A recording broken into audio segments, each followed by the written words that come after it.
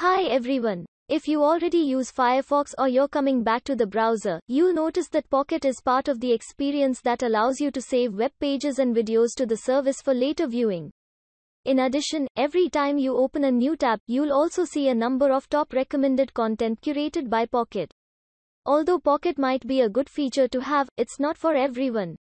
If you're one of those who aren't interested in this feature, it's possible to disable Pocket and those recommendations when opening a new tab. In this video, you'll learn the steps to disable the Pocket feature on Firefox browser. Use these steps. First, open Firefox. In the address bar, type the following path and press enter. Next, click the I accept the risk button to continue to the page. And search for Pocket and press enter.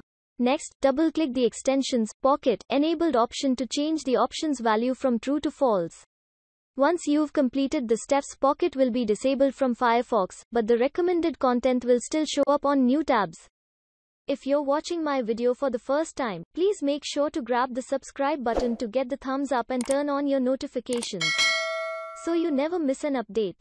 See you in the next video.